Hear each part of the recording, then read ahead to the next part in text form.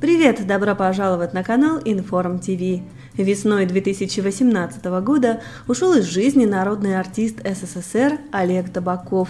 Он оставил после себя очень богатое наследие – театр, огромное количество замечательных киноработ и четверых детей – Артист был дважды женат, и в каждом браке у него родилось по двое наследников. Первый раз Олег Павлович женился на актрисе Людмиле Крыловой, которая родила от него сына Антона и дочь Александру. Вторая супруга Марина Зудина тоже подарила Табакову сына и дочь Павла и Марию. Три года назад стало известно, что старший наследник Антон уехал из России и поселился в Париже.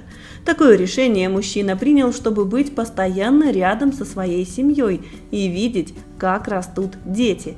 Там живут его четвертая супруга Анжелика и две дочери Антонина и Мария.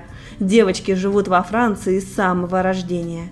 Эмигрируя в Европу, Табаков закрыл свой успешный ресторанный бизнес в Москве. На плаву он оставил всего три бизнес-проекта. Две компании «Виконт-1» и «Аминг Плюс» специализируются на аренде и управлении недвижимостью. Еще одна фирма «Астра ТК» консультирует по вопросам коммерческой деятельности.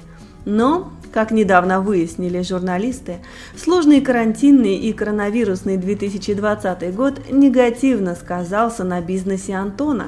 Его компании все отработали в убыток. Наибольшие потери у фирмы Виконт-1 3,3 миллиона рублей. У Аминг Плюс эта цифра значительно меньше – 947 тысяч рублей в минус – Легче всего отделалась Астра ТК, отработав в минус 327 тысяч рублей.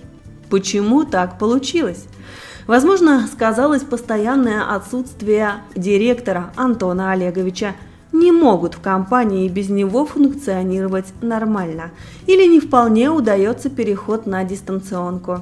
Кроме того, Антон получил повестку явиться в столичный хамовнический суд – он задолжал 100 тысяч рублей предпринимателю, у которого арендовал помещение.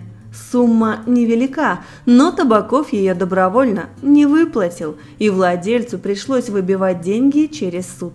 Теперь ответчику придется заплатить не только положенную сумму, но и проценты, а также расходы на адвокатов.